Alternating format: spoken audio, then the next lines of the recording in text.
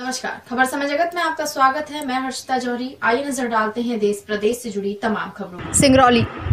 सिंगरौली ज़िले के बैढ़न वन परिक्षेत्र अंतर्गत मोरवा के पेड़ताली व कुशवई से डीएमएफ द्वारा दी गई राशि से प्लांटेशन लगाए जाने पर व डीएमएफ मद की राशि का दुरुपयोग किया गया था, जिसमें रसूखदार व्यक्तियों के खाते में पैसे जाने मजदूरों को मजदूरी कम, भुगतान किए जाने व कार्य के पहले राशि का आहरण किए जाने की शिकायत।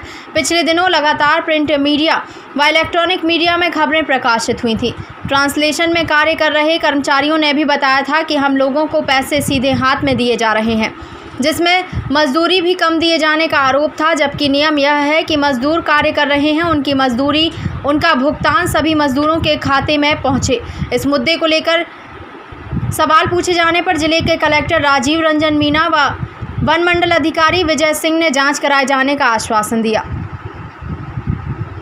कलेक्टर राजीव रंजन मीणा से डीएमएफ मद के दुरुपयोग पर सवाल पूछे जाने पर कहा कि आपने यह जानकारी हमारे संज्ञान में लाई है, इस पर हम जाँच करेंगे।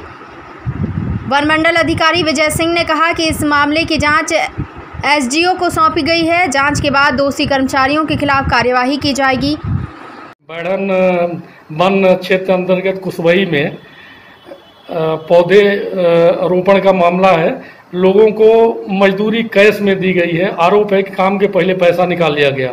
पिछले बार भी मैं आया था आपने कहा था जाँच हो रही है। क्या हुआ जाँच का? अभी एस डी साहब को जाँच दिया है। इसको उनको पंद्रह दिन का वक्त दिया गया था और अभी इनके द्वारा जाँच का रिपोर्ट सबमिट नहीं किया गया है। जैसे ही जाँच का रिपोर्ट सबमिट करेंगे तो आपको इसको सूचित कर देंगे। लोगों का आरोप है कि ये काम के पहले पैसा निकाल लिया गया। नहीं आरोप आरोप जैसे प्रारंभिक जाँच में पाया गया है वो उस तरह का आरोप उस, उस वैसा है नहीं। डीएमएफ के पैसे का दुरुपयोग हुआ है वन विभाग के पौधे लगे हैं। स्थानीय लोगों का आरोप है कि काम होने के पैसे पहले पैसे निकल गए ये मामला भी पूरी तरीके से जो है आपने हमें संज्ञान में लाया है। अभी इसकी विस्तृत जानकारी एकत्रित करने की आवश्यकता है और विस्तृत जानकारी एकत्रित करके और उसमें क्या कि अगर क्या कार्रवाई हुई है और अगर कुछ उसमें अनियमितता पाई जाती है तो उसके संबंध में कार्रवाई की जाए